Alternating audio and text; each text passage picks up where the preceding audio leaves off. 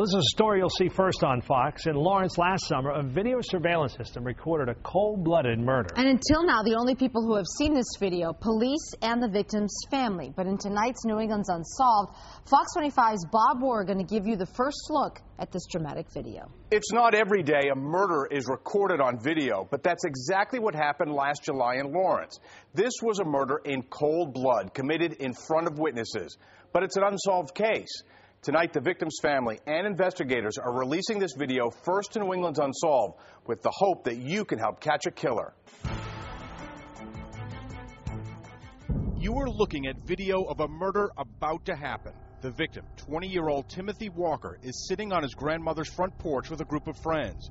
He is completely unaware that this man, carrying a shotgun hidden behind his left shoulder, is about to take his life.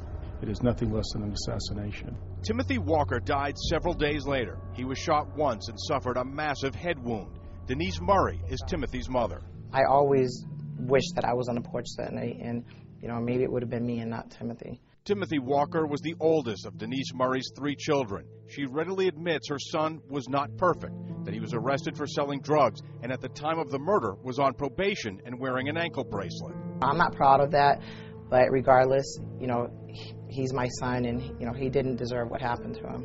Saturday night, July 24th, 2010, Timothy Walker is sitting on this patio at 375 Lowell Street in Lawrence with a small group of friends. It is a typical hot summer night. There is no hint of the nightmare these video surveillance cameras would soon record. He was really excited about turning 21. Unfortunately, he didn't get to turn 21 because he was murdered a month before his birthday. At about 9.30, video surveillance catches its first glimpse of a Nissan Murano. It appears the people inside are slowing down to take a long look at the porch where Timothy Walker is sitting. The Murano turns the corner and parks. For four minutes, the driver and a passenger appear to talk before the passenger door opens. A man steps out, and we get our first glimpse of the murder weapon. It's a shotgun. It's held uh, behind, uh, slightly to the left uh, by the perpetrator. He's attempting to conceal it as he walks down an open street in a deliberate fashion around the corner to approach um, uh, Mr. Walker. Other cameras catch the killer slowly approaching Walker, the gun always hidden. The killer vanishes out of sight for only a moment beneath a canopy, but this spray of dust reveals the deadly shotgun blast you can see the concussion from that weapon in terms of the dust rising, and then all the car alarms uh, that go off as he runs from the scene, uh, runs away after you know committing the murder. As he runs away, the killer appears to turn one last time towards the murder scene, his gun drawn, before escaping to the waiting Nissan Murano. It's a deliberate approach, uh, kill, and then running away from the scene. At Lawrence General, they said that he was shot in the head, but they said the bullet didn't go through.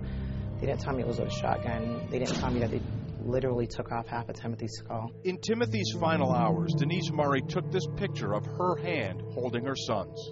I called that photo a mother's last touch because at the funeral, it wasn't him anymore. Um, you know, it wasn't his flesh anymore. So that picture means a lot to me because I held his hand.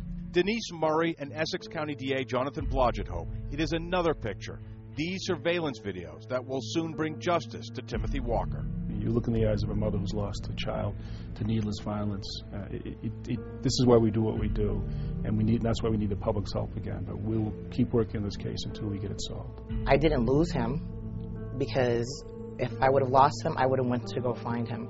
He was taken. He didn't have a choice. He was just taken from me. Timothy Walker's mother said she promised to her dying son she would do everything she could to help find his killer.